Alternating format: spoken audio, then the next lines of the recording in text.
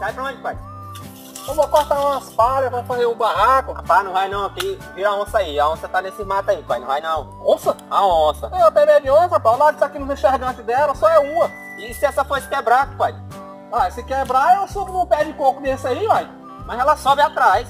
Ela lhe pega. Eu subi, eu subo no outro mais alto, uai. Ela sobe atrás de você, moço. Não adianta. Eu pulo dentro do rio e sai nadando, uai. Mas ela também nada, pai. Ela pula e nada, vai atrás, ela lhe pega. Pai, você é amigo meu ou amigo da onça?